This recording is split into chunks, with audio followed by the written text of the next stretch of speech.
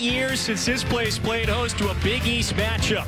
And today the Huskies welcome the ninth-ranked Creighton Blue Jays on FS1. With the coach, Steve Lavin, Kevin Fitzgerald with you. Exciting day. And, and coach, this today becomes the official welcome back to the Big East for UConn. Well, Kevin, it doesn't get any better than this. A national power returns to its rightful place in the Big East Conference. I mean, almost 3,000 days since UConn beat Providence in this building. I said celebration. Uh, could be a battle, depending on the uh, prism you look at this one through, because in comes the party crashers. That's Creighton. It sets up a matchup of two of the better guards in the league. Yeah, Zegarowski and Bouknight, orchestrators, playmakers, shot makers. The ball will be in their hand late clock and late game situations. Two great leaders. Now let's look at the starting lineups sponsored by Jeep Grand Cherokee. For Creighton, it's the all junior and senior lineup.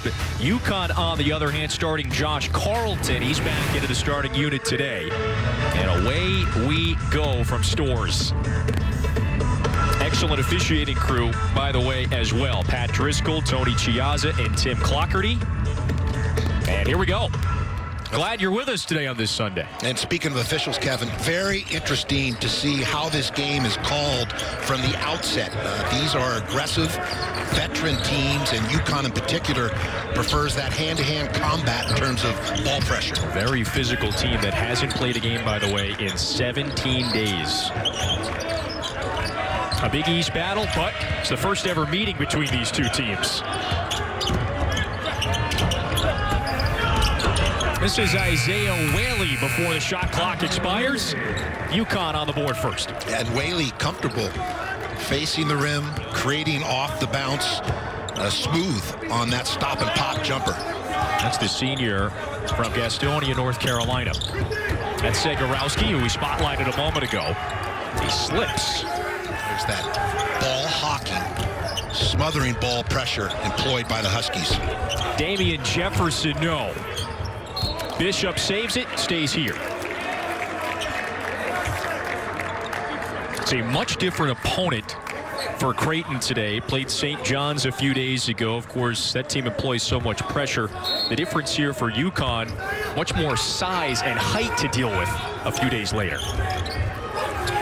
Yeah, a more rugged uh, UConn team. St. John's building as the season goes along. They'll improve dramatically as Mike Anderson employing that full court pressure scheme, but it takes time for the newcomers to adapt and adjust. That foul is on Tyrese Martin.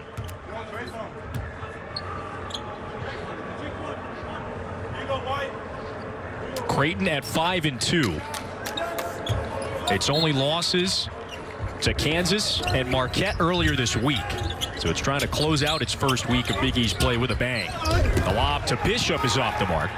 Good idea good alignment on that out of bounds play. A little flex offense off the inbound along the baseline just didn't execute or finish.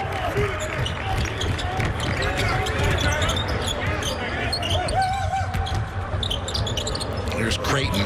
They get organized in early offense as well as any team in the country.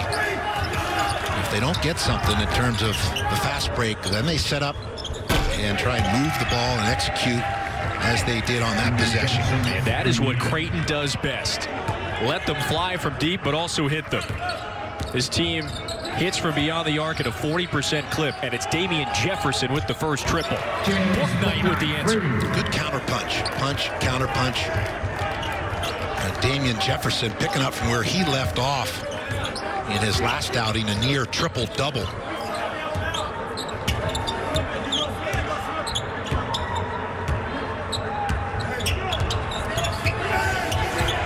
Cole hits Zegarowski's pocket. Bouknight. Count the basket. How did that go in? The razzle-dazzle. It all started with defense, that ball hawking defense. Cole there laying it out. Gets on the floor. Bouknight picks it up. And the midair body control, taking it from one side of the rim to the other, using the body to protect the ball from the defender. Little scoop shot off the window. Chance for an old-fashioned three-point play. That's on page one of the play through the end of the play, uh, a manual, if you will. So the three-point play is good for Bouknight. He has an early six. A sophomore from Brooklyn.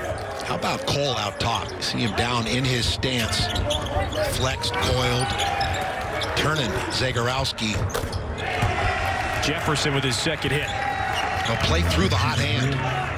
And that's what makes this Creighton offense so prolific. A number of three-point shooters in terms of players able to bomb from long distance. And UConn has to match the energy and the intensity that this Creighton team brings to the table. Mitch Ballock. Got it. What pretty basketball. Penetration there by Damien Jefferson and then just leaned around on the baseline to create that window for an excellent pass right into Zegarowski's wheelhouse. Bottoms. Creighton, three of four from deep.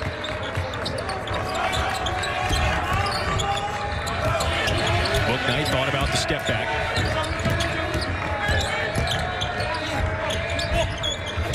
Whaley to Carlton. That one might have gotten blocked by Bishop. That was a good block by Bishop from behind. Mahoney leaves it short. Dan Hurley was asking that this week. Would his team be able to match the intensity required for a Big East battle? Remember, this team has hasn't played a game since December 3rd, and Zegarowski takes it in for two. Well, Zegarowski uh, maneuvering at a pace where he's under control, on balance, and therefore can make good reads or judgments when to give it up, and in that case, able to finish.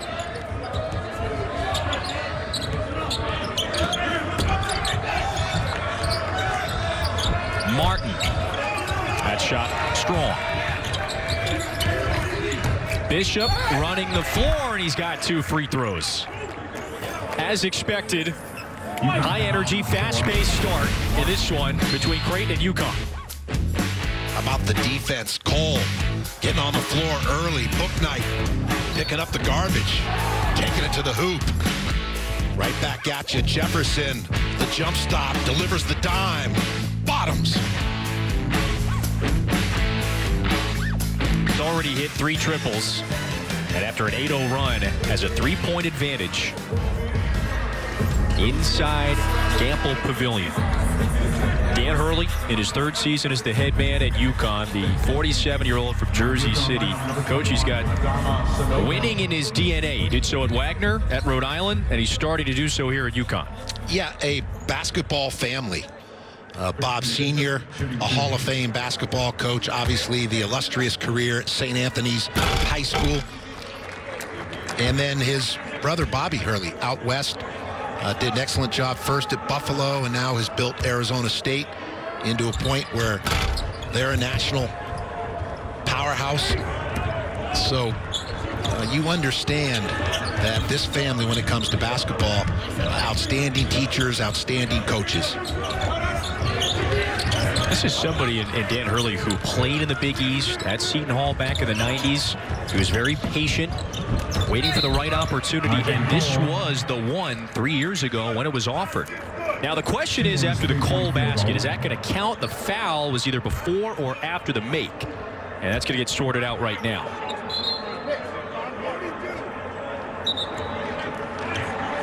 So the three-pointer is good, and the foul goes against Whaley, and that's his first after the fact. Third team foul.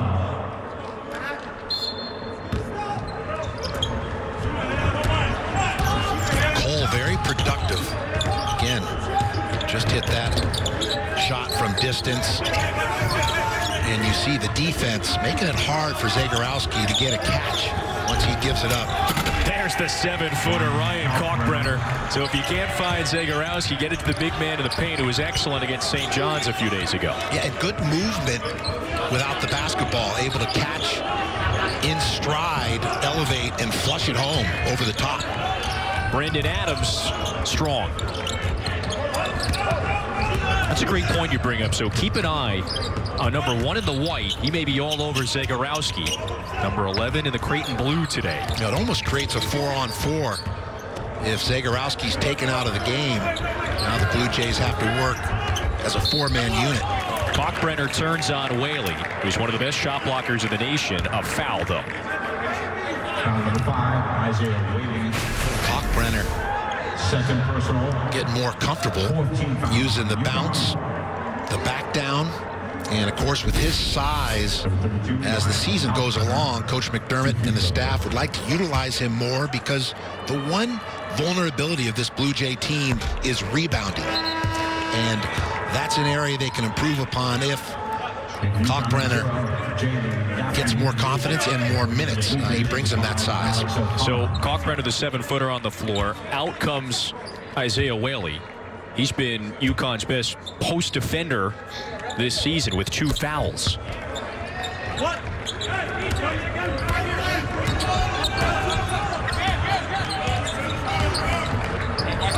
Both these teams bring four starters back from last year's, last season's starting lineups, and that's a real helpful element to have experience, especially in a year where there's been this disruption and kind of interruption to your traditional development of a team. Uh, younger teams with new pieces obviously are struggling more because they don't have that experience of last season together as a group. Alex O'Connell, transfer from Duke, playing in his second game. And it affects UConn a bit more than others.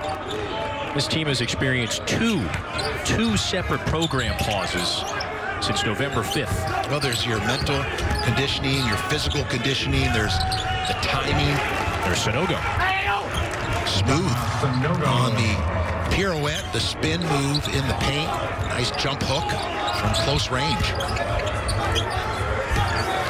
The spin, back to the left hand. Kalkbrenner fighting for it. The push to Cole. Blocking foul. Walking foul. That's going to be Zegarowski's first. No, it's an offensive foul. And I think the officials, Pat Driscoll there, had it right.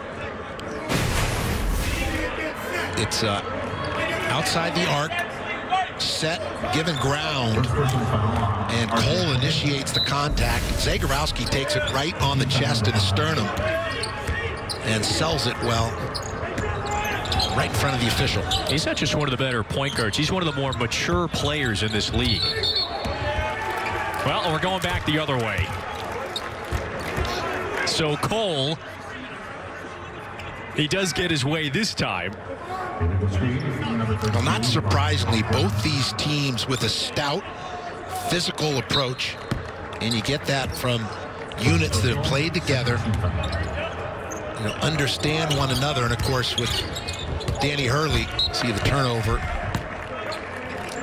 Sanogo there was trying to feed the wing. Teammate goes back door and uh, can't read one another's mind, and there's the turnover.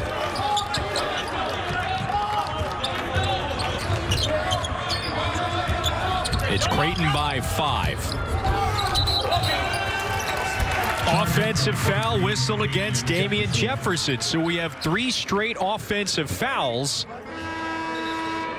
First on Jefferson, third on the team. Greg McDermott is wondering, hey, what happened there? This is his 11th season as the head man at Creighton, the reigning Big East Coach of the Year. And number 11. and got a piece of the Big East Championship regular season last year, a phenomenal season. I think it was a group going into the Big East tournament that had the most momentum of any team in the Big East, and they were capable of winning the postseason tournament and getting to the second weekend of play at least in the NCAA tournament if we didn't have the pandemic and shutdown.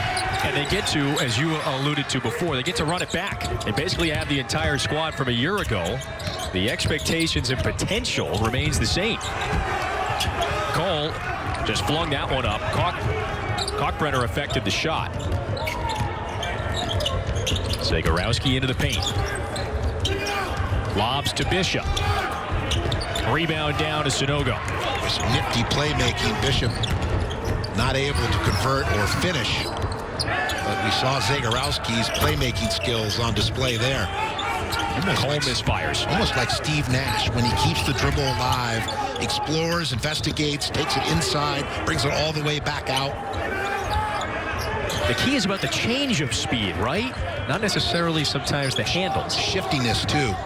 Excellent footwork, change of direction, change of speed. That one, a little too much velocity on it. Rare turnover from Zegarowski. His team's ahead by five on the road.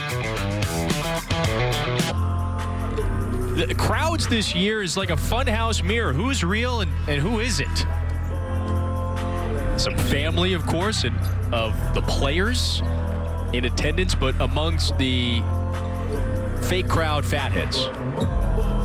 Well, Where's the Steve Lavin fathead, by the way? You know, it's an example of how we adjust, modify, and uh, coaches have had to do that, their teams, the athletes, obviously, and uh, you and I as broadcasters, right? Here we have this plexiglass between us. Uh, we're in our respective bubbles, practicing the mask mechanics. And so uh, even student sections and the marketing people at each university trying to find ways creatively uh, to engage.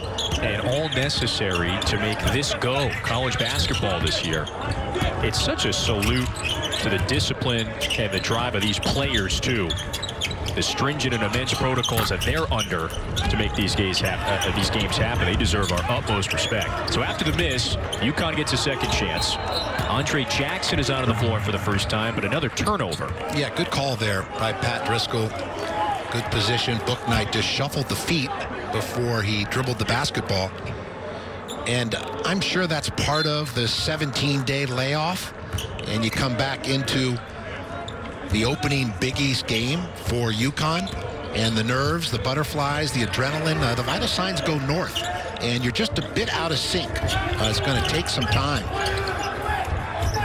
Jackson steals it. Gaffney finds Bouknight. And a new 20-second shot clock for the home team.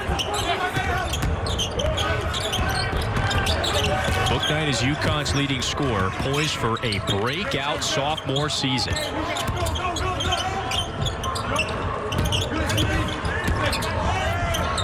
Late in the shot clock. And Adams' three is off the mark. A good possession defensively by the Blue Jays there.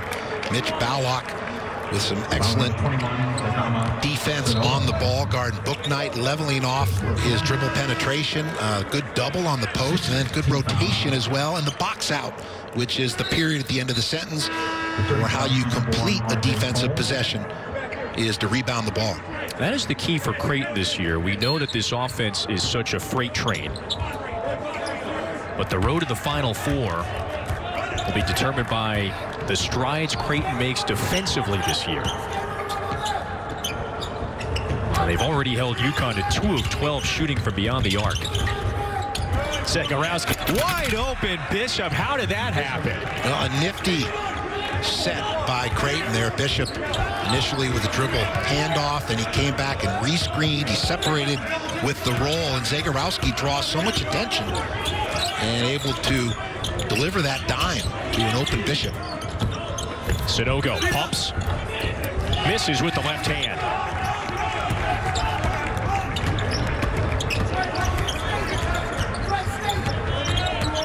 Past the midway mark of the first half, Creighton leads by seven. Cole blankets Zegarowski, lets it fly.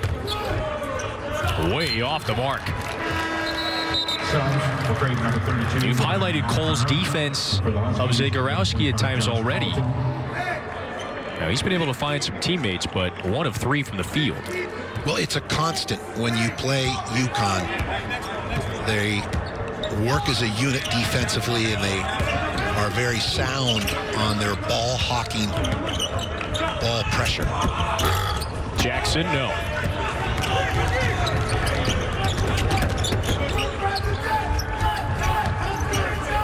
Ballock, good cut to the corner. Yeah, he nails it. Movement without the basketball. You'll see the Blue Jays, they play well in pairs, almost like dance partners. And they read the defense well and play as partners well. That's two-man basketball executed precisely. Signs of maturity. It's a very unselfish team. Anybody can be selfish. and be the guy to score on any given night. Second chance for UConn. That one's off the window and in, and it's Adams. A good stick-to-itiveness, opportunistic. That's what the Huskies will do to you. Excellent offensive rebounding team, and it comes down to their mindset. It's emphasized in practice, but they're tenacious in their approach on the boards.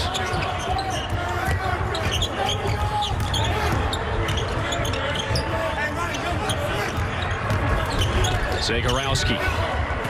Kalkbrenner kicks. Denzel Mahoney. Got it. Look, sharing the basketball, distributing the ball, this democratic approach that the Blue Jays take, and it's why they have the balanced scoring game to game. You can't key on one player because they'll make you pay. Someone else steps up and joins the party offensively. As a team, Creighton shoots 40% from deep. Four of seven, coach, from deep in this game. Well, it's because they enjoy making that extra pass. Mahoney with the goggles dials one up. Let's take a look at the Blue Jays in terms of playing in pairs or tandem.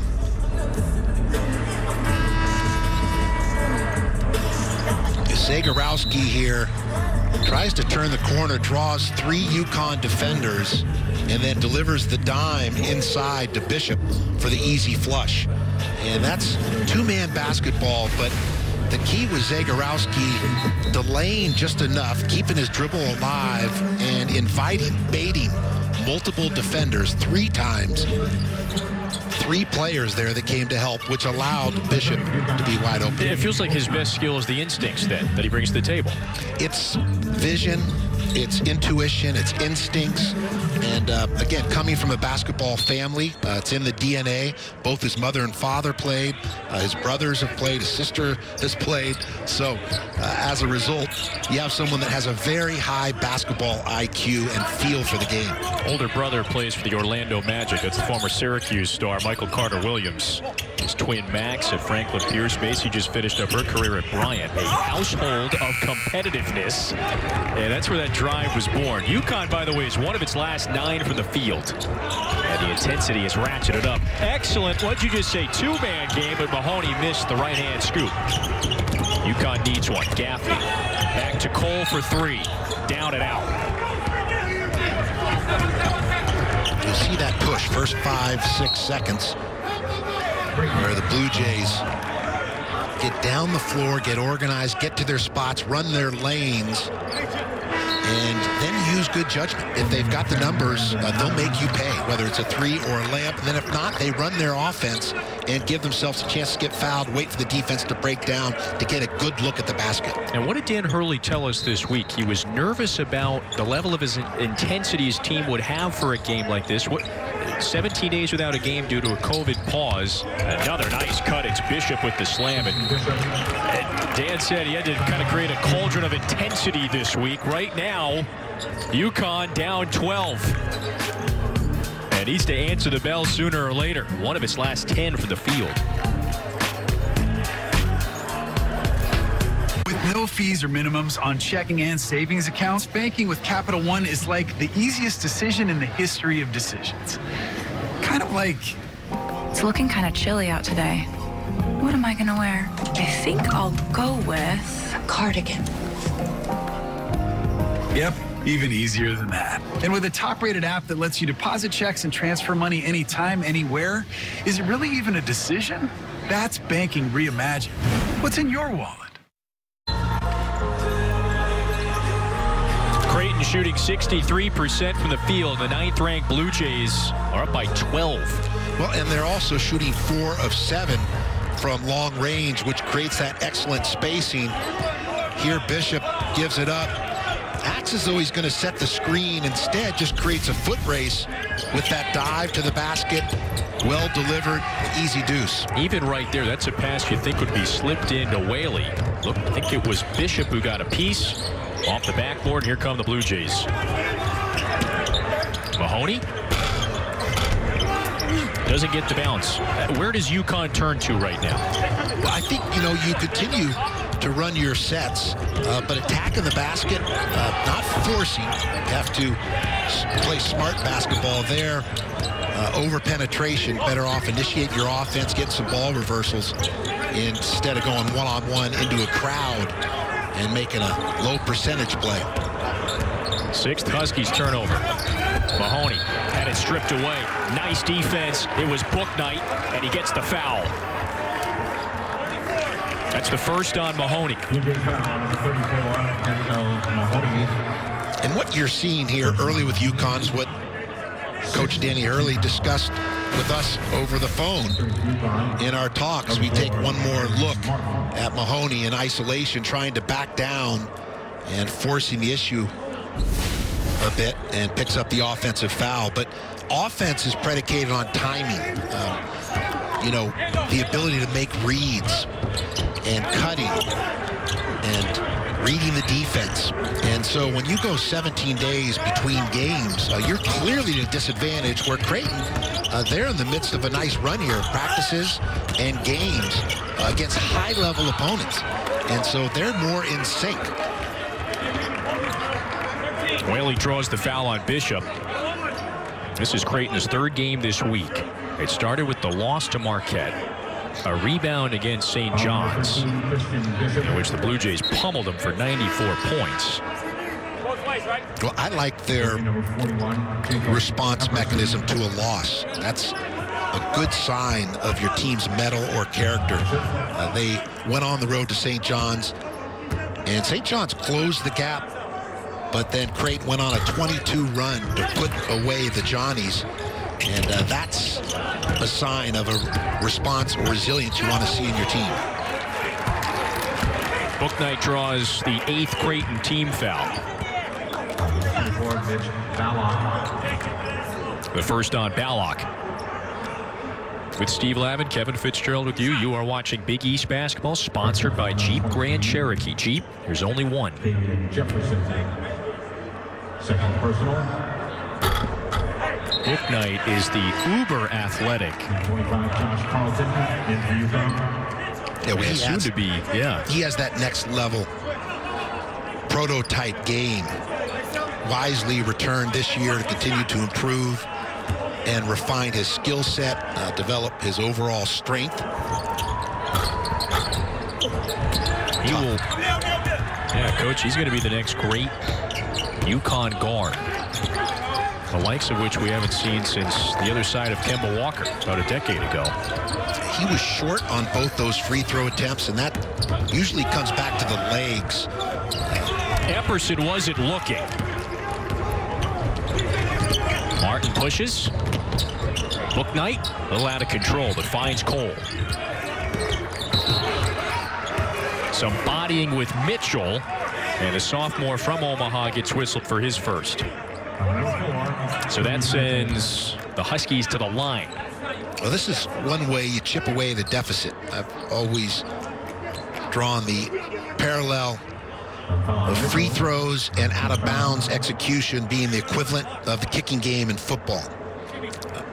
Chip away through free throws, getting on the boards, a couple out of bounds plays. Before the free throws, we're going to get a review.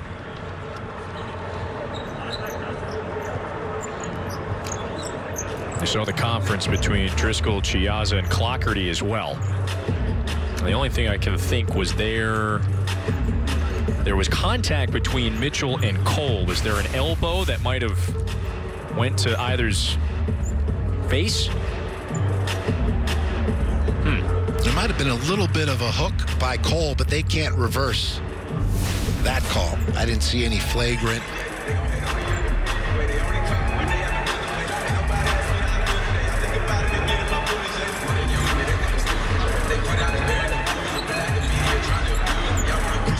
It appears that Clougherty and Chiazza are looking at a prior foul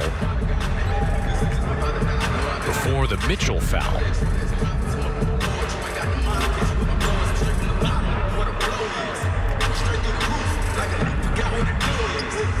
A little bit of a, a little bit of a lull, pardon, at this point in the game. UConn has been cold, just 26% shooting from the field. Creighton has not been able to extend its lead in the last few minutes. So it's the there will be a change to a prior foul.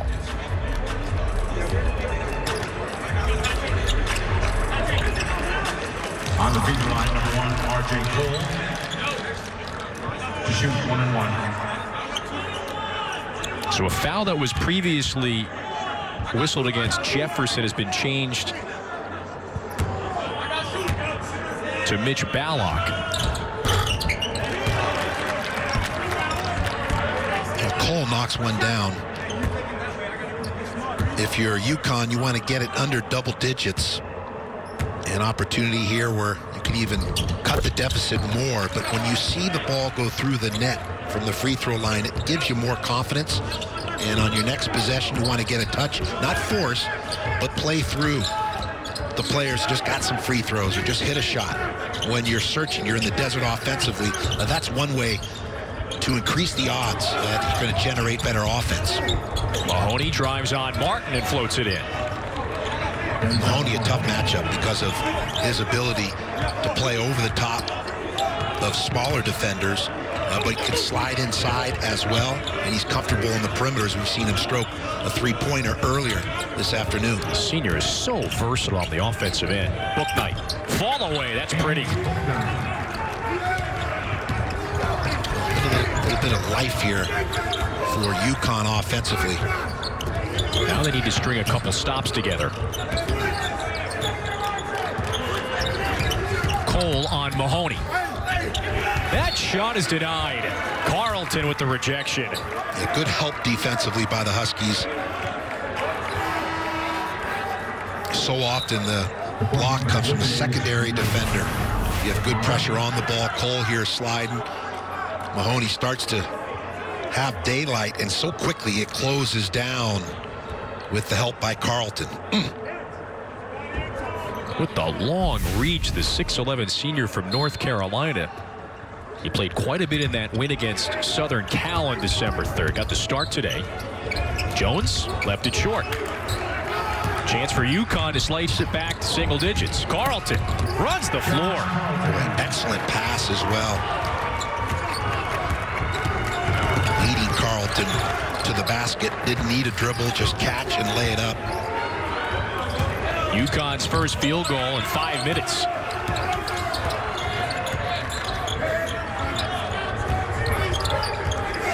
Big East opener for UConn and its return to the conference. That shot swirls out for Mitchell. And the first ever meeting between these two. Chance to build on this run by the Huskies. Into the hands of Bouknight.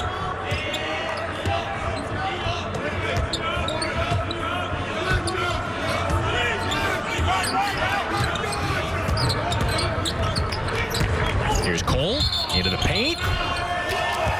Traveling. Traveling violation. Timeout on the floor. Cole disappointed by the call. How about Mahoney? Now just showing the skills to maneuver off the bounce, the runner. Bouknight. The stop and pop. Smooth. Timeout. An eight-point lead for Creighton inside Gampel Pavilion. Jim Jackson's Buckeyes, by the way, got a little test from Northwestern yesterday. They seem to be poised for the college football playoff, though. It's that time of the year. yes. Zegarowski back in. He has made an impact without scoring today, but defensively, R.J. Cole has locked him up. Well, UConn now, Kevin, on a 6-2 run. As you alluded to, a couple stops go a long way. Jones is going to get two free throws, and that was Mahoney. He he is everywhere on the offensive side of the ball. Kept the possession alive, and two free throws coming for the sophomore from Orlando. First foul on Carlton. And with those goggles, reminds me a little bit of uh, Horace Grant. Got some of his game as well. Yeah. Gives away a few inches but the activity and the catalyst on the defensive side of the ball. And then offensively, the versatility. And Coach McDermott deploys him well to take advantage of his particular skill set. Uh, they'll look for mismatches and exploit them. Credit Mahoney, who shifts into a starting role this year. He expanded his offensive game over the summer, became a bit more versatile. I think Horace Grant needed glasses that were a little more, a, a bit more sleeker like his. True. Kurt Rambis back in the day. You know, people forget no. Kareem Abdul-Jabbar had goggles right. as well. So uh, goggles and uh, having game have gone hand in hand through the history of the game. Ballock, he is the marksman. He's going to go down as one of the better three-point shooters in program history. Martin trying to take it the length of the floor. Bouknight is everywhere, and he's a double figures with 10. Yeah, fortuitous. Uh, an air ball, but the aggressiveness of Bouknight in pursuing the ball leads to a putback. He averages close to 19 a game. He's been in double figures all four of UConn's game. It's been a truncated schedule so far for the Huskies. Back on the floor for the first time in 17 days. And Zegarowski continues to struggle 1 of 4 from the field. Huskies making a big run here. A chance to go into half with momentum and completely shift the energy of this game. A 6-0 Huskies run. Carlton doubled. Nothing there. Who's open?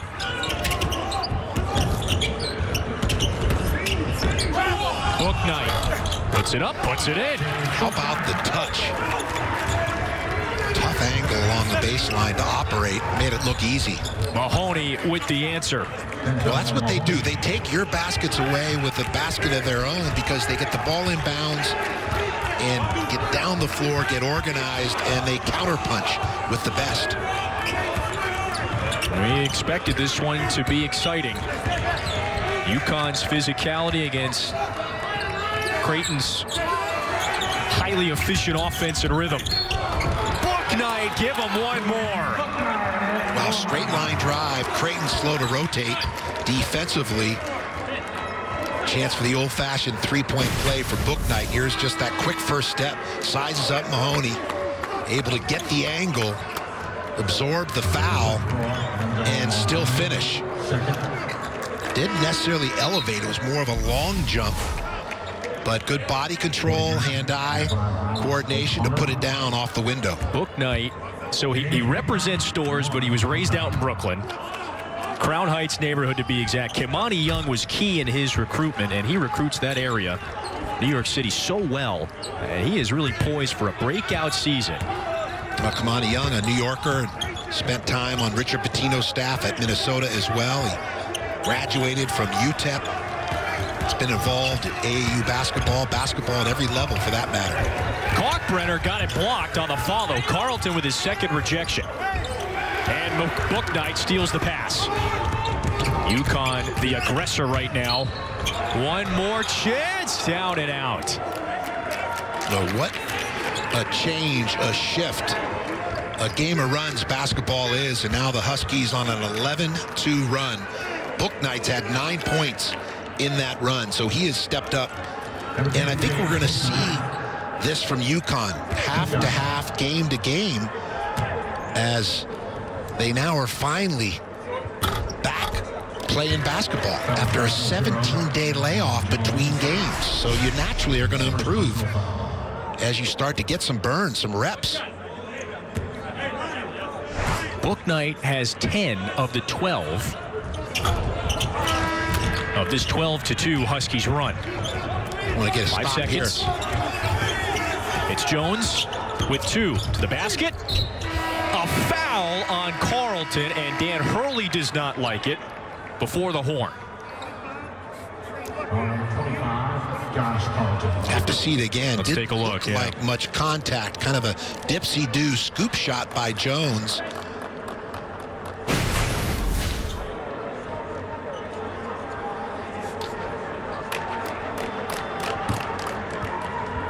Boy, tough to see.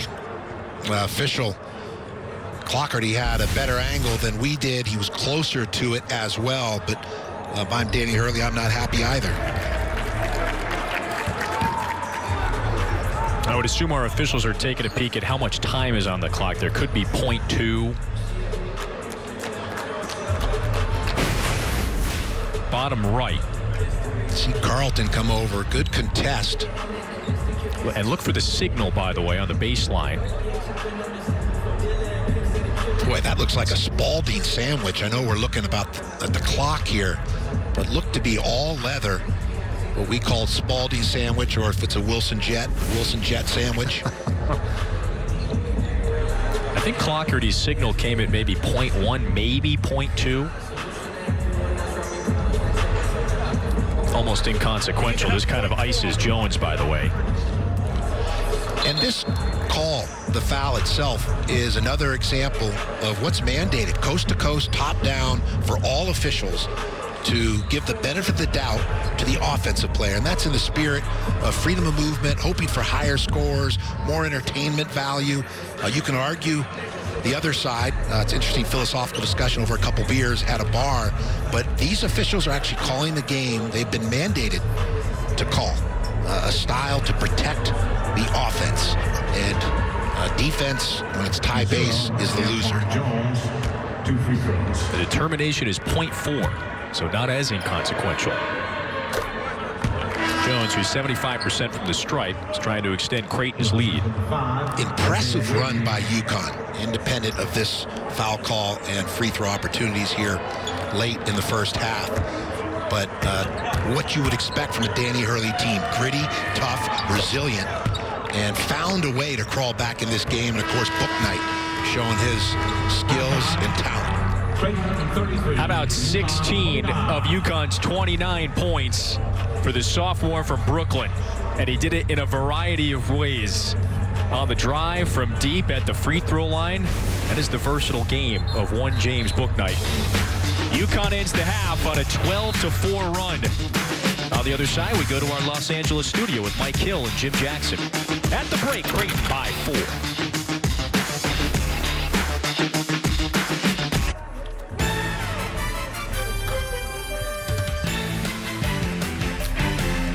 First ever meeting between these two teams gave us a good first half. Creighton leads by four.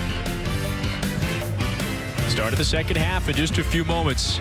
The two elite guards for both of these teams had different types of first halves. James Bouknight has balled out for 16 points, 6 of 10 from the field. Marcus Zegarowski, on the other hand, just two points. The stat comparison sponsored by Jeep Grand Cherokee. How have the first halves played out for both of these two? Well, it's been a game of runs, as basketball is, and whoever wins the majority of those runs is 99% of the time the victor. And uh, Creighton got into a flow offensively, was working well in concert, uh, shared the ball well in terms of their assists to basket ratio, but give UConn credit. Uh, 6-0 advantage on points off turnovers, a 4-0 advantage on second chance points, and those 10 points uh, off their defense and second shots, those are effort, tenacity uh, type of points, and that's how they crawled back in this game. Of course, Bouknight down the stretch was lights out. Uh, 10 of the 12 points coming down the stretch for UConn were all through Bouknight. Bishop misfires in the first look for Creighton. And Greg McDermott, how did he describe it to us? He said Dan Hurley type teams are always defensive oriented. It is in the DNA of those types of teams. Book Knight has dominated on the baseline, and he goes up and under again. How about it, Kevin? The scoop shots from one side of the rim to the other. And again, the body control and the ability to hang in the air and still keep eyes on target. How about the dive by Book Knight? Now he is surgical in his passing as well. Just got it going. After the Whaley basket and now foul, UConn's run extended to 16 to 4 getting back to the first half. Oh, Uh, just a great read. Whaley delivers that nice backdoor cut like an option quarterback. And here working off the high ball screen. An excellent pass to Whaley, who separates well, targets for the ball. And Bouknight just spoon feeds the big fella. He's got 18 points. That is the athleticism that Hurley has lauded now for at least a year. Creighton needs the spark now. Jefferson, great dish, and Bishop with the two-hand stuff. A high percentage finisher. Bishop takes shots he can make. My kind of guy understands his role and embraces that role. Field goal percentage at 72% on the year. It's Creighton by two in UConn's Big East opener. A return to action of sorts. Not just to the conference, but to action as well. UConn's first game in 17 days. Offensive foul whistled against Carlton. That's his third. Here's the drive, the dish, over the top, the easy flush for Bishop. It's just a lose-lose situation. You either have to allow Jefferson the easy look or confront him, and that leaves you susceptible to the pass. Yeah, Damien Jefferson, just one of those players that brings a multitude of skills to the game. Mahoney lost it. That's the 10th Creighton turnover. And that's the Blue Jays season average. Book night. Got the three. Well, he's in the zone right now, Kevin.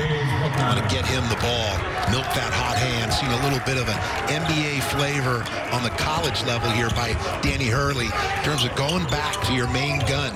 Why not? Heat check. 21 points for the sophomore. Carlton, nice defense. It stays with Creighton. So interesting to watch UConn within this game gain a better comfort level, uh, playing with a more cohesive approach at both offense and defense. This is UConn's first lead since the 7:23 mark. Make it the 17:23 mark of the first half. Jefferson for three. Good defense on Zegarowski there by UConn, really selling out on Zegarowski. Two or three players crowding him, just no open looks. You've said that a lot today. Good defense on Zegarowski. So now the question is, who was that last touch by?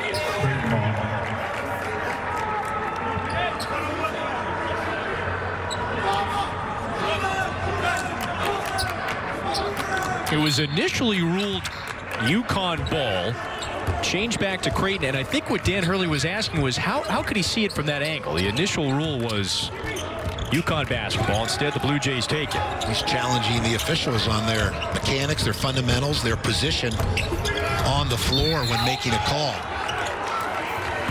We talk about help side defense and spacing on offense and how important that is, but it also is critical that officials get to the right position to make calls. Is a foul, by the way, on UConn. And watch the tumbling Bishop. They whistle Cole for the foul.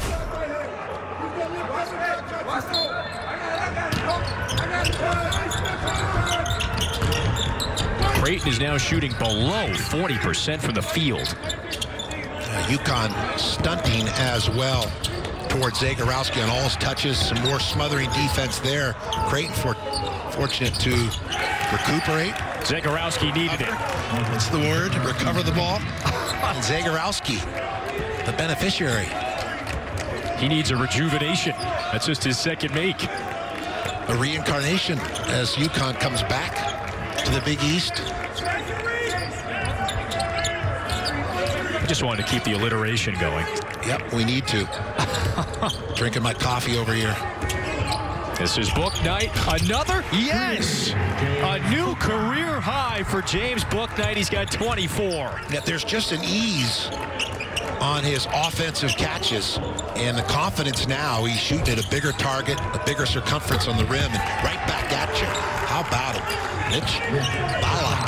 The senior marksman from Eudora, Kansas, gives Creighton the lead. Well, that's another example of taking the team's basket away by getting down the floor so quickly, getting set up, and launching a bomb. This is turning into a compelling one. Already four lead changes in this half alone. Seven total today. Cole, no. Martin with a critical offensive rebound.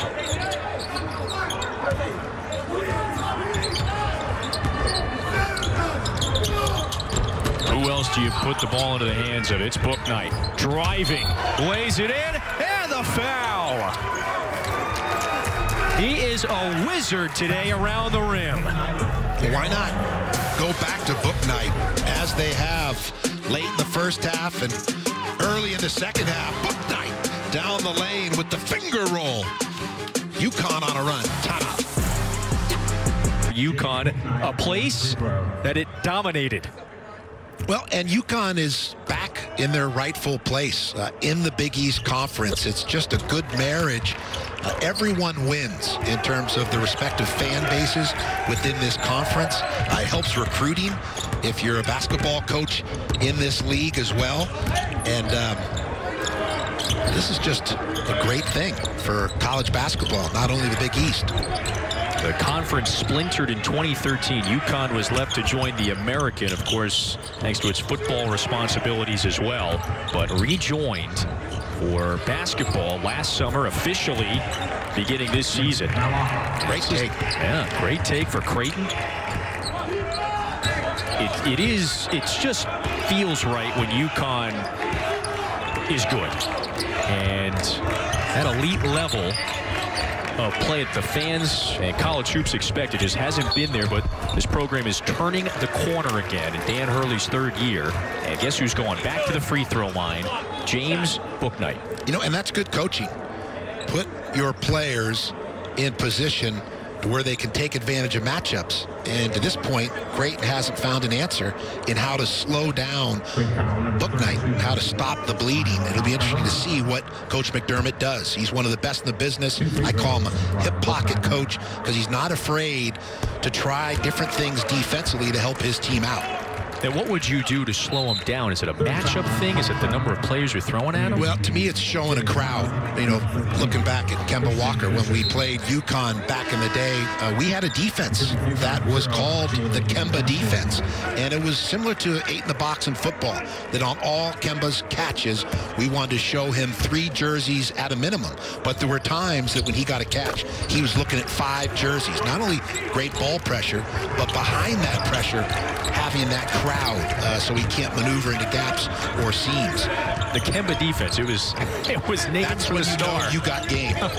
when you use a defense, create a defense off an opponent that just has it going on. Well, Greg McDermott better create the Bouknight defense today. 29 points. He had 16 at half. He has 13 more in six minutes after halftime. And what makes him a tough matchup is he's not only a rocket launcher, but he enjoys being surgical. He makes precise passes. He's improving his playmaking skills as well. Sanogo and one. Wow, little NBA continuation for Sanogo. That's Jefferson still on the floor. Coach, this is the the moves underneath by the big man. Yeah, comfortable. Uh, shows the ball, takes it to the other side of the rim. Just a little shot fake. That's something you work on in post perimeter. And he actually used his left arm there to kind of upend Damien Jefferson along the way to score in a basket. So uh, showing his skills. The freshman from Mali, one of the latest top 100 rated recruits that Dan Hurley has been able to bring to Storrs. This is UConn's largest lead. It fell behind by 12 right around the midway mark of the first half. It looked like Creighton was going to take off at that point. It got a little careless. And UConn turned all those turnovers into points. And that was when James Bouknight started to ignite as well. And now Creighton, the team that is cold. I think you're seeing the rust is now off this UConn team. It takes a while to dust off the cobwebs or work the rust off after you've had 17 days without playing a game. That Bouknight look, by the way, it looked good. He's three of seven from deep. Mahoney to the corner. Jones puts it up and puts it in. That's a big three. It's back to a one-point game. And there's that playmaking of Mahoney. Comfortable at the top of the floor, surveying and choosing the right option in terms of sharing the basketball.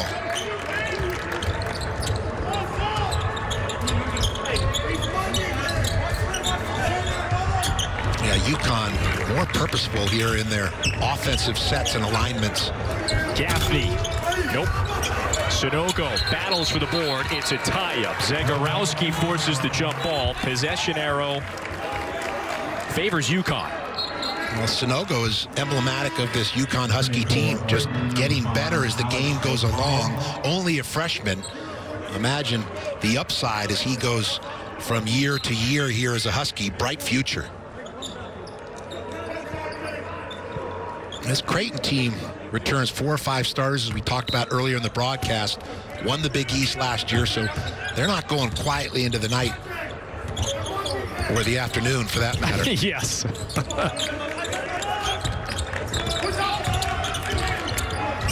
Sanogo, he was scared by just how open he was. Yeah, kind of caught in between there of thinking pass and then shot. Jones. Bishop with the tap back. Bishop, some nifty footwork, staying after it. One hand controlled tap. Made it look easy. He's the six-seven junior from Missouri. He plays the five at times. Yet this, the offense and the style for Greg McDermott the last couple years has kind of been the small ball look. Bishop, though, has been reliable at that position. Late in the shot clock, Bouknight forced to give it up. Underneath to Martin for the reverse slam. It's a beautiful basketball. Good basketball habits, looking opposite, making that extra pass. Looked like it was going to be a reverse layup. Instead, a double pump slam.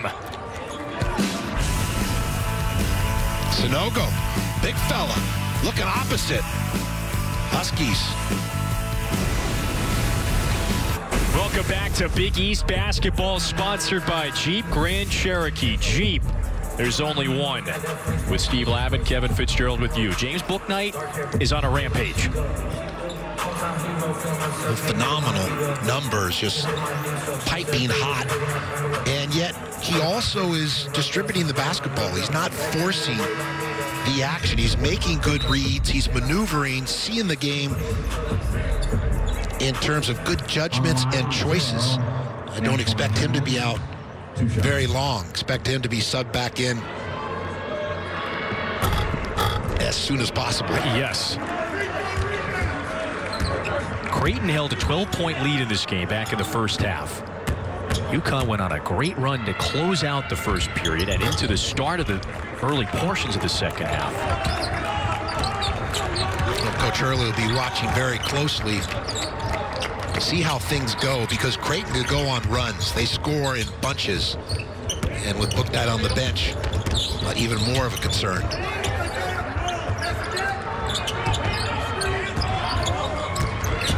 Cole, the spin down the lane, and the flailing layup is off the mark. Adams offensive rebound. How did this one get to Cole? I mean, saw the traffic. Adams fell on the loose ball, then was able to bounce it through flailing hands and arms, and Cole has two free throws. Wild possession, but stick-to-itiveness and staying after it. And that's a hallmark of Danny Hurley's teams. Uh, have to be fortunate as well. The ball coming out of that scrum. And Cole, the smallest player on the court, diminutive, but is the one at the rim that draws the foul. How about it? Junior from Union, New Jersey. So R.J. Cole starts at Howard, scored over 20 a game in two years down in D.C. He plays for Dan Hurley. He also played for Bob Hurley. He was coached by Dan's father at St. Anthony in his high school days. He can't get away from the Hurleys. Yeah, but with good reason, by the way. Baptized, inculcated mm. by the Hurleys. Kalkbrenner back into the game.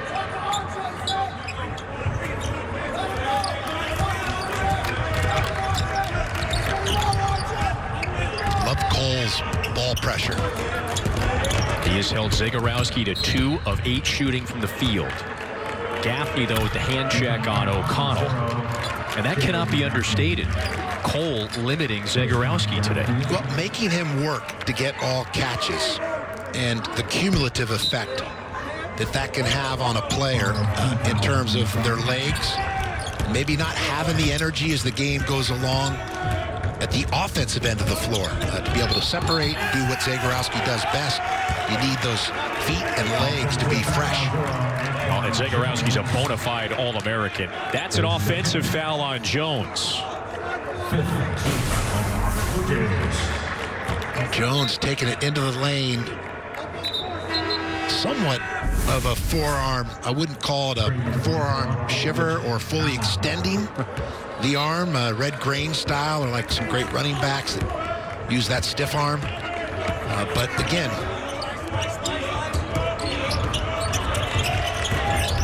That was off of Gaffney's foot.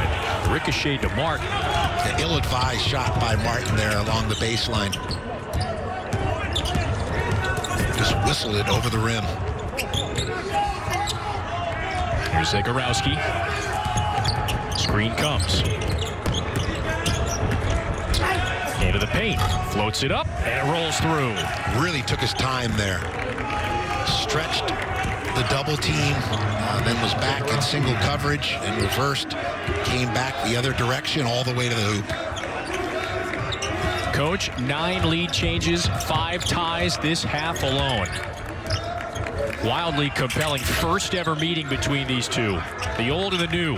UConn back in the Big East. Creighton, of course, one of the freshest teams. And a foul after the turnover. Just basic passing and catching. And guess who's back in? Mr. Bouknight. 29 points today, a career high on 10 of 15 shooting. That is efficiency. I think if you're Danny Hurley, you're pleased that you took him out of the game, but you didn't lose big ground. Yep. And now hoping that he's got a little more energy in the fuel tank for the home stretch. Rattles out for Jones. Martin shot blocked. Smothered by Kalkbrenner. Second chance didn't go for Martin. He kept it alive. It stays with the Huskies. I like Martin's aggressiveness, but has to make better judgments here. When you're double teamed, you got the elbows down your tonsils, they're draped on you like wet towels. You've done your job. Uh, sit down and give it up or pocket pass. But uh, to continue to shoot that ball, it's a low percentage play. Kalkbrenner blocked that one with his wrist. Yeah, you've done your job. You drive it to the hole, you bring two or three opponents' jerseys to help. Uh, then the math is favorable somewhere else. Give it up. But I like his tenaciousness. That's why Danny Hurley's playing him.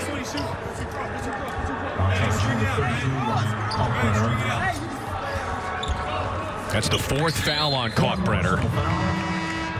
It's the sixth team foul on Creighton. And both of these teams will go to the bonus on the next whistle. Tied up at 51. The first of our quadruple header of Big East Hoops on FS1 is a delightful one to begin the Sunday afternoon. Bouknight playing around with Mahoney into the paint.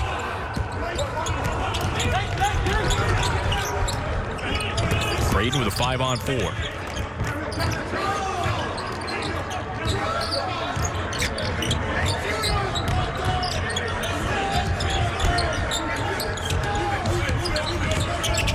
Patient possession.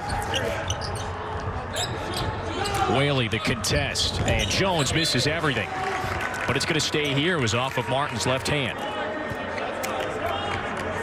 Yeah, the ball came off the rim on that shot at an odd angle. And as a result, Martin not able to secure it with two hands. This is Jones. Mahoney for three. Short. Some good defense here being applied. by the Huskies. No surprise.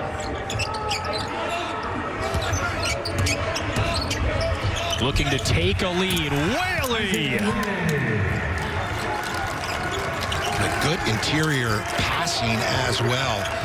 Whaley showing the verts, the ups, the remarkable hops, and again, ball pressure on Zegarowski has been relentless.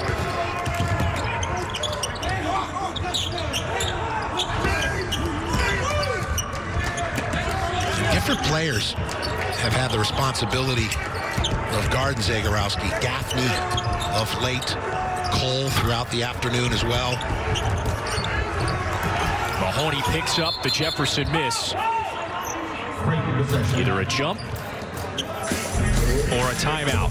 It is a jump ball, and Creighton keeps possession. That's a high percentage look. Isaiah Whaley has UConn ahead by two at home. Calhoun was the head coach of this program. Saw a lot of wins during his tenure as the head man at UConn from 1986 to 2012. Those seven Big East tournament titles, coach.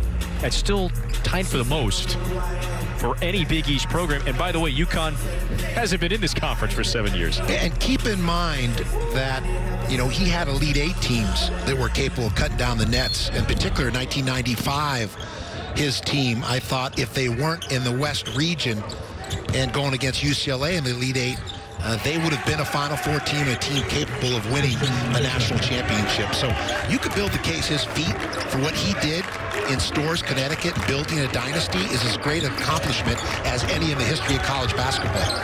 Think They ran- about that for a minute. They ran into, by the way, your UCLA dynasty out there on your guys' way to a national Yep, championship. Jim Harrick, the head coach, I was fortunate to be an assistant. But that team with Ray Allen and Donnie Marshall and Kevin Ollie and company was special. It can't be understated, though, back to your point, what Jim Calhoun had built here.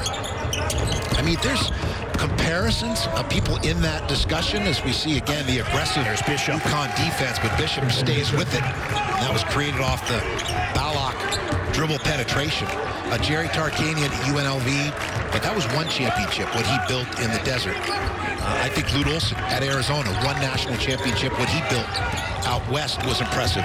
But four Final Fours, three national titles, and their fourth national title Kevin Ollie won, but Jim Calhoun's fingerprints were all over that team. So in my view, it's as impressive a feat as any in the history of college basketball. Adams' three is strong. And Dan Hurley is elevating this program back to the level that you just highlighted from years past. Creighton by two, and Bishop again. Boy, good look. And I like the decisive, quick drop step by Bishop. No hesitation. High percentage finisher. Creighton with some answers. Timeout. Back ahead. Yeah, and I like the position uh, that he's carved out down low. Opportunistic here on the second shot, put back, and a nice little spin, feels the defense, maneuvers for the opening, and Deuce down low. He's coming off the double-double against St. John's, and he's bringing the intensity you see there. Now with a team-high 15 points. Always to balance scoring attack for Creighton. The fifth most efficient offense in the country has been tested today. Leads by four, though, with six minutes to go. And the star, James Bouknight, who has 29 points,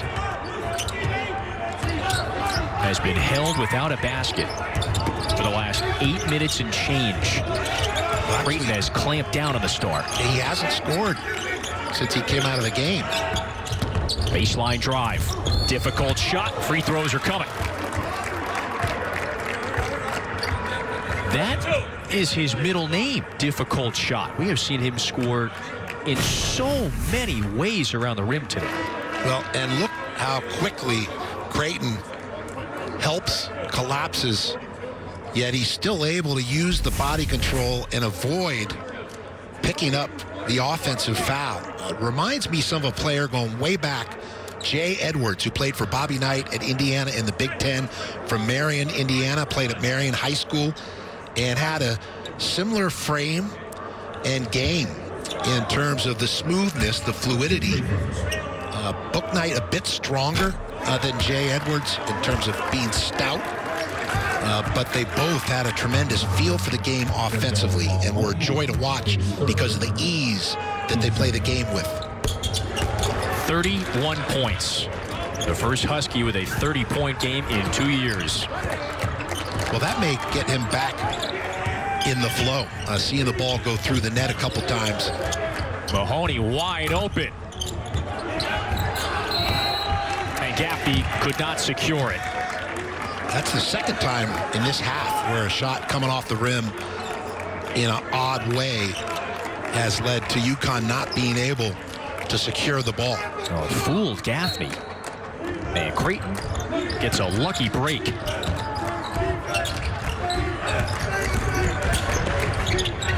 Jefferson. Back-to-back misses from deep. They see UConn again selling out to Zegarowski. Uh, basically a double team, especially when he comes off screens. Book night. Count the basket. Again, the fluidity or the ease, Kevin, almost like he's on ice skates. And the way he glides into the basket. Here, a little between the legs, and then just a push. Turns the corner, finishes. Chance for the old-fashioned three-point play, and here are the fans. This was the game to bring the sign to. Boy, sparkly too. Festive, Christmas spirit. Where's the tinsel? Bring some ornaments to the house. Yeah, this has been widely talked about. For UConn to be great this season, James Bouknight may need to play at a superstar level. He is at that level today. 34 points for the sophomore from Brooklyn. Well, he's as impressive as any guard that we've seen this season. He would definitely rank in that top five or six in the country uh, based on the early results or returns. A career day for Bouknight. Again, really impressive with UConn's ball screen defense swarming and crowding Zegarowski throughout. Now it's Mahoney with two to shoot. Bouknight got a piece of it. A hoist and a shot clock violation. He can score and he can suffocate you defensively. Well, there's that length. Uh, good feet laterally in terms of not allowing an opponent to get that first step or an angle to the basket. Good stance, tracing the ball with his right hand, staying down, gets all leather on the first, and well contested on the second shot. He's done that a couple times. The quick swipe, quick sleight of hands to affect shots. And he's close enough to the ball where he doesn't have to lunge or reach or put himself in a foul-prone situation because of that footwork and technique. Great effort from Whaley and Mahoney. But it was the Blue Jay who last touched it. So UConn ball with 13 on the shot clock. This one has been wildly exciting. UConn was down by 12 in the first half, and Creighton was just humming offensively. That defense you keep referencing really clamped down. UConn sliced it to a four-point deficit by halftime. Took its first lead early in this half. And we've been trading leads back and forth. Cole draws the foul. And gets a chance to extend the UConn lead. A good change of pace by Cole here.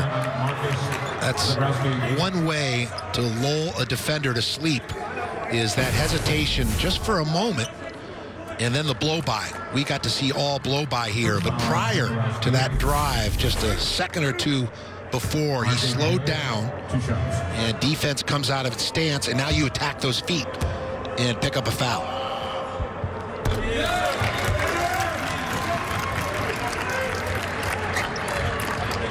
Someone else other than Zegarowski may have to step up for Creighton because of the defense UConn has devised for this game. They are going to keep Zegarowski blanketed in a crowd, basically selling two players out to defending him when he comes off ball screens.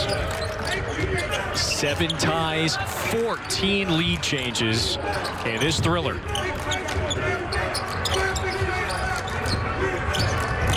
Jefferson puts his head down, rises and scores. It's actually good defense by Martin. Slid the feet, verticality, went straight up.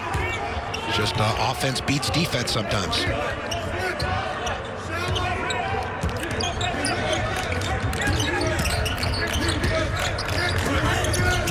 I like this old-fashioned dribble weave action. Oh, drills the three off what I call old-fashioned basketball. I used to see in the 1930s and 40s, the dribble weave offense. Largest hole Creighton has been in today. Whaley with another block. The Big East leader in shot blocks. Book night? No. And it's a foul on Whaley.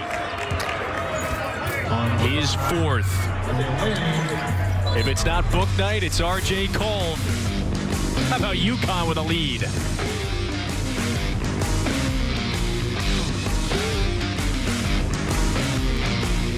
Today, 34 by far a career high on 11 of 18 shooting. Yeah, 18 points in the second half. It just continues as the game goes along to play with an elevated level of confidence and just imposing his gifts and talents and will on this game.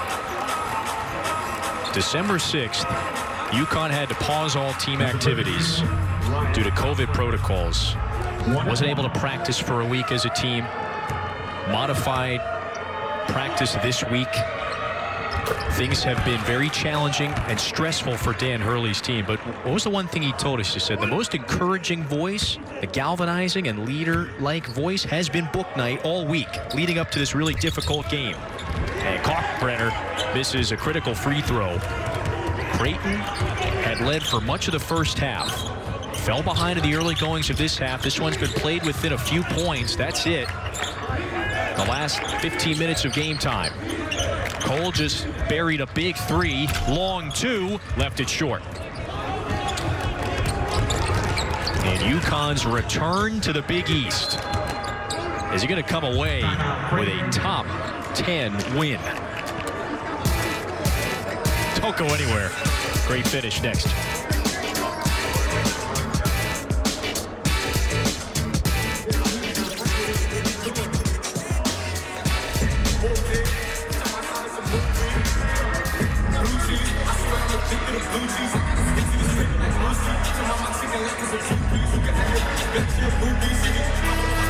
Round 15. UConn with a three-point lead. 2.45 to go. These teams have never faced off before. You just saw the point from Dan Hurley.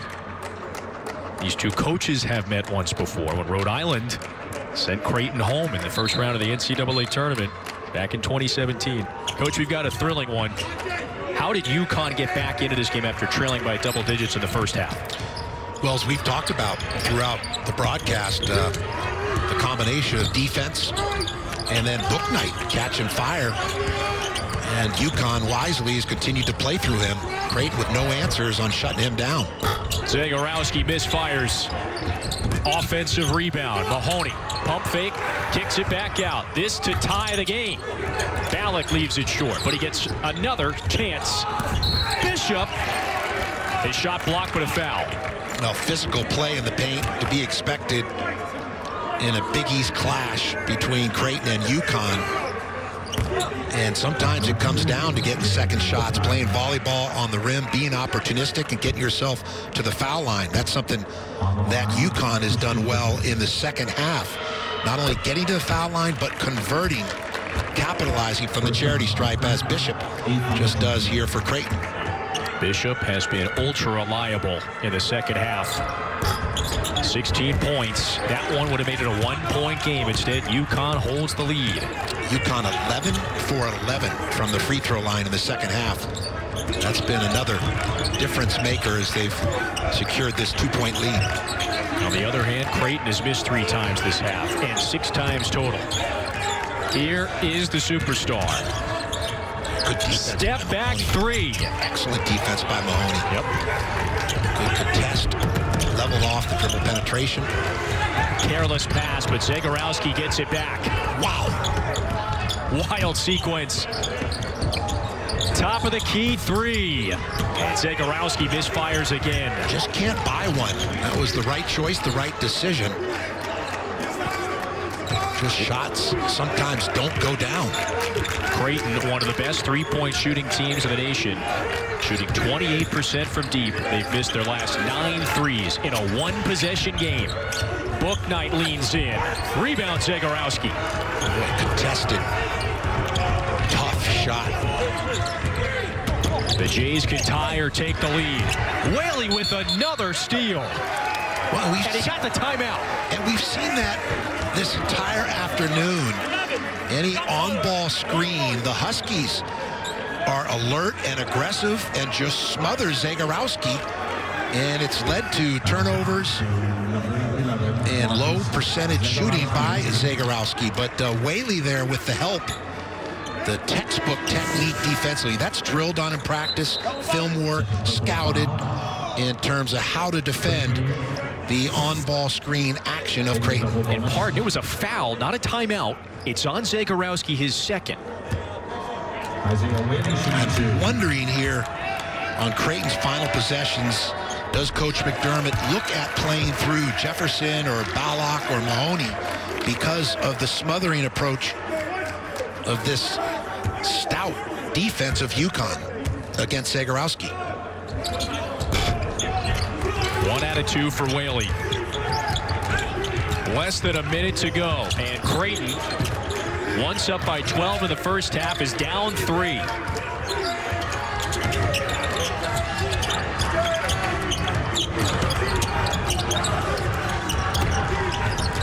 Bishop hands off to Jefferson. The lob back. Knocked away by Martin. But it stays here. Well, alert defense there by Martin and reading that looping lob pass was able to break it up. Take a look. Great timing here by Martin. I think the officials uh, got it right. Yeah, I know Martin's pleading his case. And why not? Can't fault himself. Sure. Be a future lawyer. Boy, this game has delivered, hasn't it? Yep, eight seconds. Got to be aware of the short clock on this out of bounds play plays. The officials continuing to look at it. But Martin's follow through as he swatted that ball out of bounds is what I think will determine that this stays Creighton ball. It has to be definitive Right. to overturn. And not definitive there. Nothing that would suggest otherwise. And you're right. Creighton to inbound with eight seconds on the shot clock. Got to be alert to the lobs and the slips to the basket.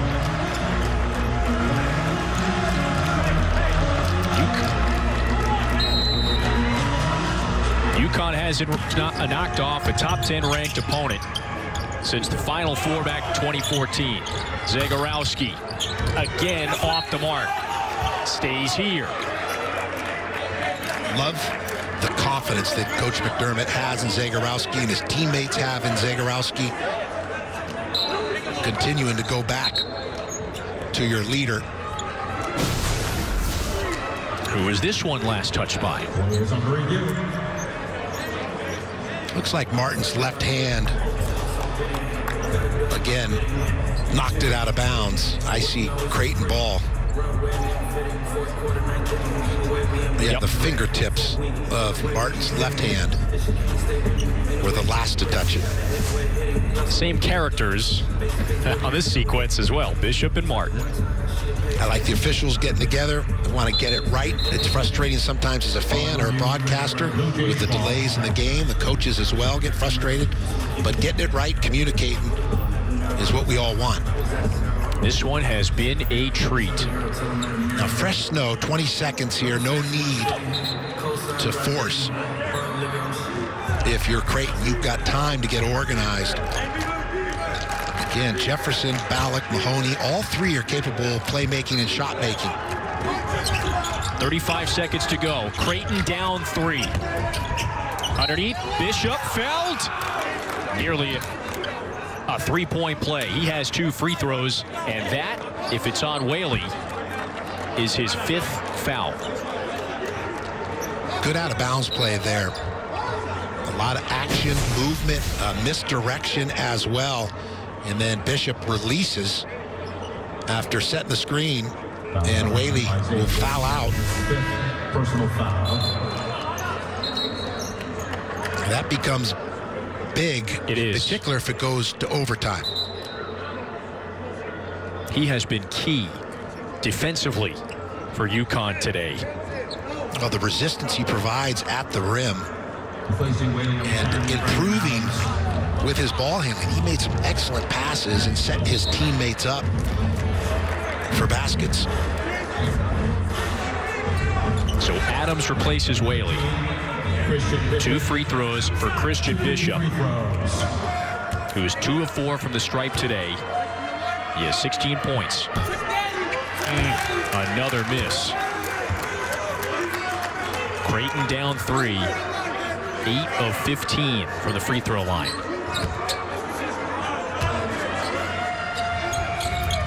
Two-point game. 34 seconds left. Each team with two timeouts, and both are in the bonus. And press offense, uh, important. That UConn has good spacing in the backcourt, allow enough room to make a secondary cut to get a catch. It's Cole, Gaffney, Adams, Bouknight, and Martin on the floor for the Huskies. Be strong with the basketball if you're UConn. At some point here, the foul is coming. Yep. There was about a three-second differential between shot and game clock, but there's the foul, and it's Gaffney who has free throws. He is just 10 of 13 from the stripe this year. Third personal foul. Double bonus. 21.3 to go. Again, you go back to these situations being even more difficult because of the 17-day layoff between games. But uh, cool customer, ice in the veins for Gaffney. Turning for Creighton number 13, Christian Bishop. It has been a stressful, challenging, daunting two and a half weeks for UConn. Dealing with the pause, limited practice time, last playing a game on December 3rd. And his Huskies team leads the ninth-ranked team in the country by four. And Zegarowski has to go. 19 seconds left. Two-possession game on the drive. Now it's a two-point game. And a timeout, Creighton. Had good clock management. Creighton wisely not launching a rocket, but instead go right to the basket. Able to stop the clock, set their defense. Now Coach Hurley setting up his press offense, ideally wanting his higher free throw percentage shooters to get the catch. Easier said than done because Creighton will try and deny, switch. But getting the ball inbounds, number one. Number two, being strong with the ball once you do have the ball inbounds. And then stay low and pivot with your head up because you're likely to be fouled immediately. And if you have any trouble on the inbounds, UConn with two timeouts, plus the possession arrow favors the Huskies. A thrilling Big East opener for UConn. Creighton is trying to close out quite a difficult week. Its third game. Lost to Marquette Now the front end of the week. Bounced back with a win against St. John's. Down two with 13.6 to go. Gaffney to inbound again. And here we go. To Cole. He fell. There's a whistle. And Zegarowski is saying, wait a second. Boy, it looked like He fall on his own. and it looked like it might have been steps initially. Pat Driscoll had a good angle. But they'll shoot free throws. I'm sure Coach McDermott's going to be asking about the travels. There's a big slide there. No pivot foot established. Not sure where the foul is either. Instead, R.J. Cole is at the line to extend UConn's lead back to two scores again. 11.2 to go. He is a perfect six of six from the line.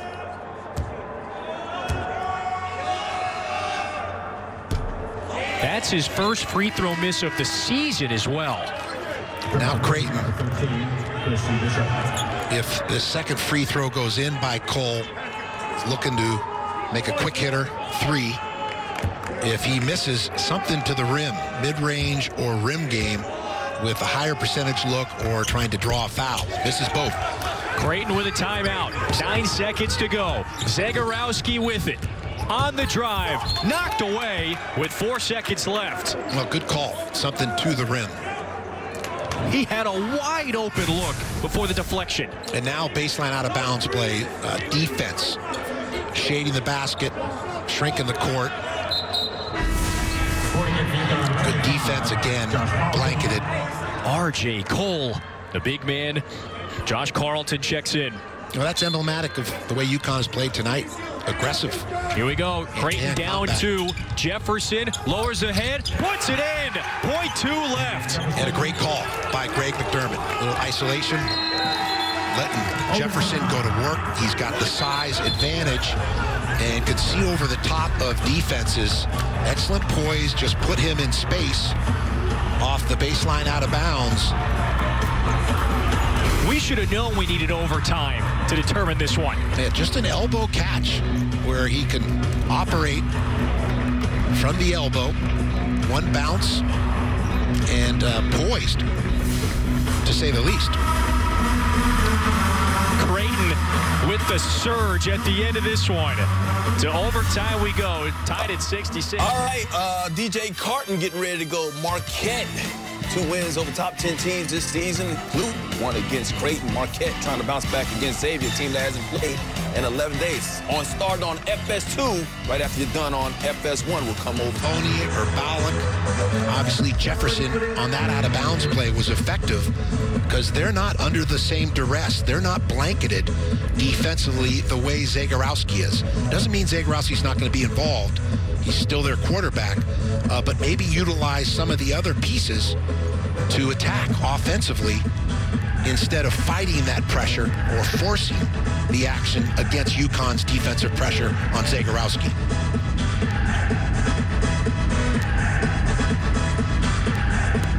We jump it again. What a dandy of a ball game. Christmas comes early for us, Kevin. A big East battle. I guess you've been nice and not naughty for us to get this game. Jefferson on the drive again. This time he's whistled for the offensive foul, and Cole takes the charge. Well, Cole is everywhere. A glove defensively, like a Band-Aid adhesive. And Martin here sliding, but it's Cole that steps in, and it doesn't look as though Jefferson knocked him over. There's Well- no contact, but the angle again. Officials are also affected and with the disruption. Uh, they haven't had a normal runway into the season either. A long layoff for them because of protocol uh, of COVID-19. Yeah, no question, a tough break for Jefferson, who sent us into overtime with his little floater in the paint. How about the acting by Cole? Talk about alert and aggressive. Gaffney, two to shoot. Up, under, falls in. Wow. Got that shooter's bounce and took his time. Didn't panic, didn't rush. Found the opening. Puts it up. Gaffney's first field goal comes in the overtime period. Another turnover. Here he is on the drive again. Ballock goes straight up. Rebound to Martin. He loses it. Here come the Blue Jays. Wild sequences. Frenetic pace. This has been a physical battle between these two. Mahoney draws the foul on the larger Carlton. And Creighton's leading scorer at the line. And naturally, no one feels they've committed a foul. Shocker. Has there ever been a player that knows they committed a foul? Again, these are just aggressive actions. Uh, assaults on the rim, putting the ball down. Classic brass knuckles, rock fight, Big East basketball.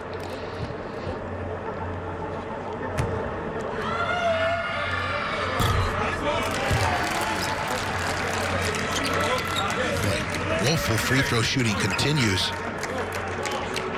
Creighton, 9 of 17 from the stripe. The Blue Jays' first visit to Storrs ever. And we're in overtime. Mahoney with just seven points today. One point game. Creighton had played from behind, albeit not by much, for most of the second half. The clutch Jefferson basket with .2 left in regulation to get us to overtime.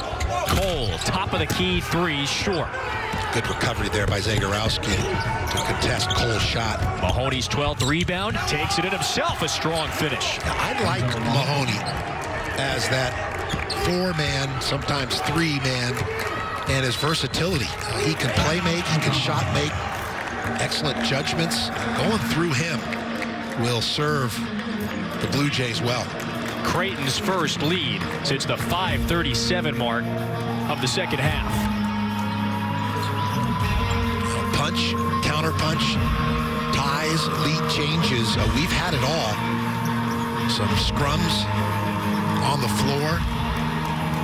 Excellent defense by UConn in particular, but a good answer by Creighton. 3.06 to go in overtime. That was a timeout called by UConn. It's been a while since the Huskies have knocked off a top 10 ranked opponent. By the way, that win against Florida that just sent the Huskies to the national title game, which they subsequently beat Kentucky. Well, when UConn comes back to the Big East, it's a program that has four national championships. That's big.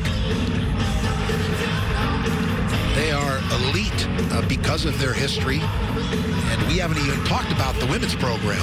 But uh, the men's program alone, those achievements, accomplishments, those banners, that standard of excellence, a high tide rises all ships in the Big East when UConn returns. You know, you know who else has been excellent as you see the just the domination on both the men's and women's side as well. You know who's been excellent today? You just saw an image of him, James Bouknight, 34 points, blossoming into a superstar before our eyes for the Huskies on 11 of 20 shooting, although late in the second half, it was others who stepped up like Whaley and Cole. Well, it's interesting, too, the ebb and flow as we look at the numbers this game.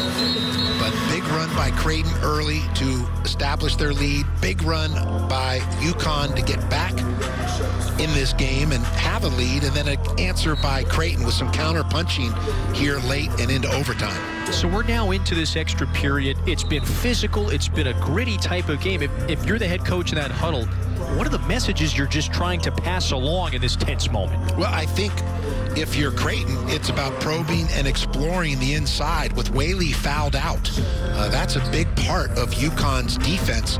That resistance at the rim that he provides is no longer in play with him being disqualified because of fouls. So not forcing it inside, but Bishop has had success of late, and that's tied to Whaley being out. Creighton dealing with much more foul trouble than UConn at this point. Four players with four fouls, just one other for UConn. This is Bouknight. Let's it go. Carlton chases. He's got a new 20-second shot clock. Good heads up hustle there by Carlton to create a second possession. Gaffney lost it, retains the dribble. Up top to Cole. He wants the three. Down and out. Mahoney with his 13th rebound. Mahoney there blanketing Bouknight. Not allowing him to get a catch on that possession and then comes up with a rebound as well. UConn down one. Mahoney spins off. Who was it last touch by? It's going back to the Huskies. Well, that was a bit of a force by Mahoney. I like the aggressiveness, but once you take it in, you draw multiple defenders, now look to pitch it or pocket pass. Sit down, reverse pivot, and kick it back out behind you to the three-point line.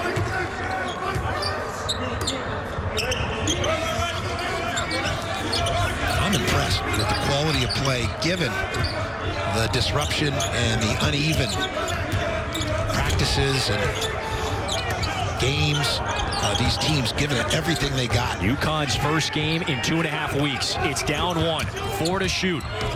Bishop with the defense. Cole doesn't recognize. We're getting later in the shot clock. It's a turnover, and the Blue Jays take it. Uh, and team defense, helping one another, sliding feet, high hands on closeouts, and that leads to the shot clock violation.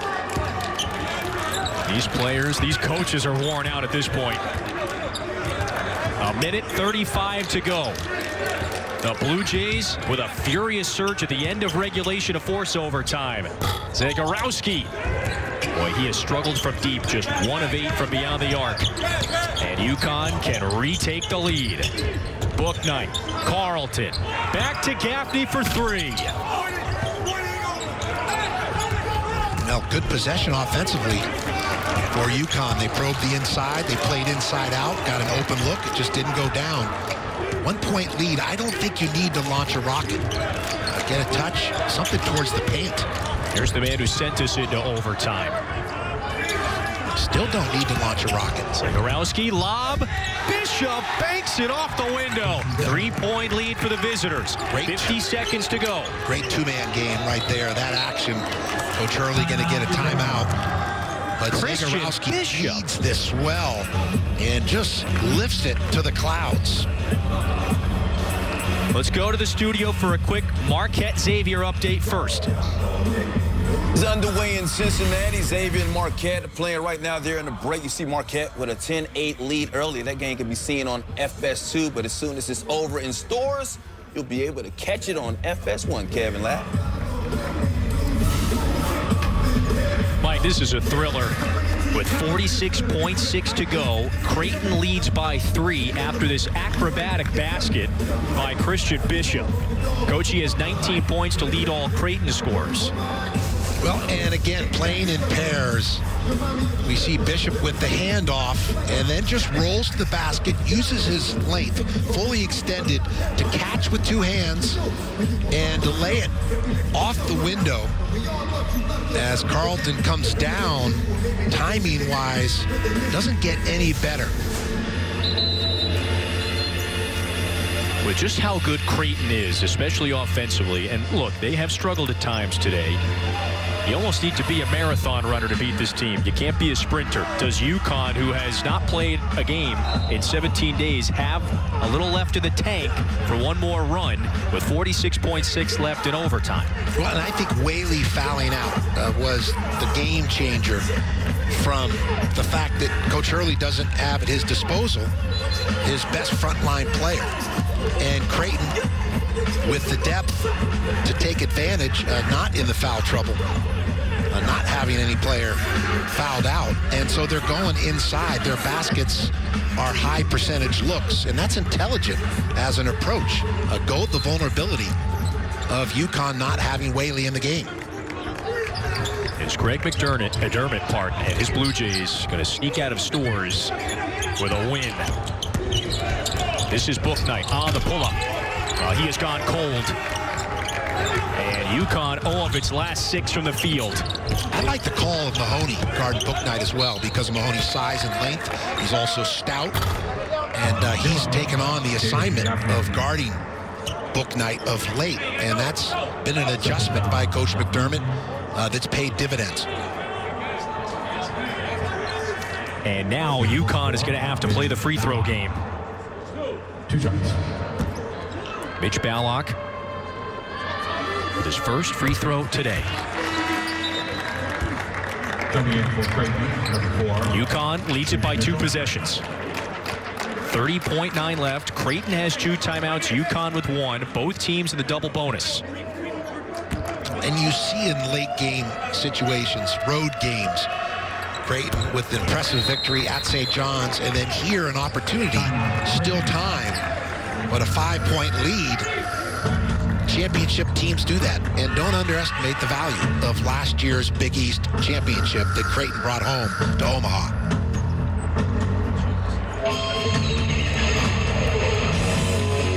Creighton timeout, 30.9 left. Right, the, the DNA of winning It's in the fabric of this rotation of this Creighton team, and the expectations are as high as they've ever been for this program, sitting at ninth in the nation. Well, they bring four or five starters back. They've got that nucleus. That's why UConn's going to have an outstanding season. They bring four or five starters back, but the programs are different places. Uh, Creighton is established under Greg McDermott, and Danny Hurley is beginning to build something special in Storrs, Connecticut. UConn led in the late stages of regulation at times by four. But then Creighton used a, a, late surge. So Marcus Zegarowski free throws, and then Damien Jefferson's driving basket to tie things up at 66 and force overtime. UConn with just two points in the extra frame. Cole with the twisting attempt. Rebound down to Zegarowski. And Cole must foul. Good defense there by Creighton. Having the discipline to not foul in that situation. And instead, squaring up, verticality, arms and hands towards the rafters. I see the contest, verticality in play by Ballock. Show the officials that you're not using your hands, they're straight up. Here's the bona fide All-American. See that expression on his face. That's what he looks like when he's scoring 20 points like he did against St. John's on Thursday. It's what he looks like today when he has struggled and his team's ahead by six. He's been instrumental even without scoring today. Well, what it shows you is steady stewardship, not using emotional fuel in the peaks or valleys, but instead, Joe Montana style, keep it even keeled and burn that fuel, that emotional fuel more effectively. He seems a bit uh, moving gingerly, and that's probably played a, a, part in his performance. UConn needs a surge. 18 seconds. They've got to get a shot up. Three possession game now. Bouknight's three. That's down. So it's back to a four point game. 11.7 to go. UConn uses the timeout.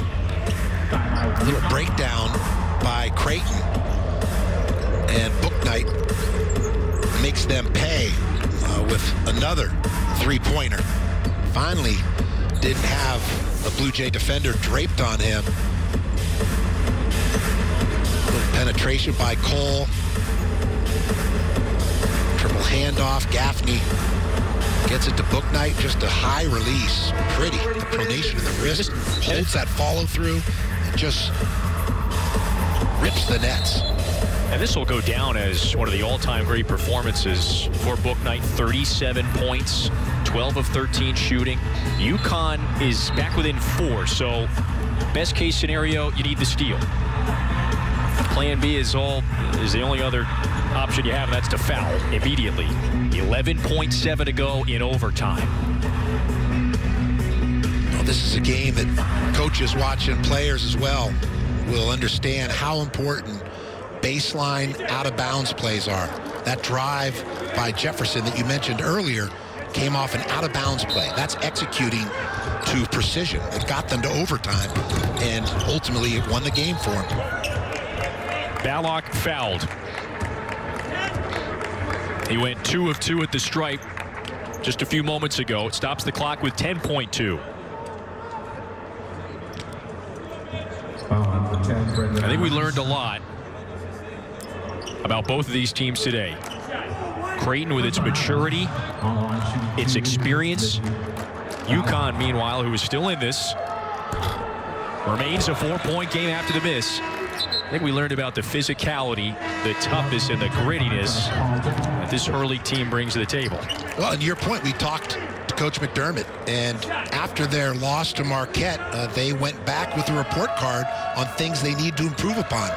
And one was taking care of the basketball, not having those live ball turnovers that cost them against Kansas and Marquette. It's a five-point game. This is Gaffney. Seven on the game clock. Lets it go. Short. Carlton. Clock winding down now. And that'll be just a footnote. Creighton with the last second Jefferson basket to force overtime, wins it in overtime against UConn. Its first win ever in Storrs.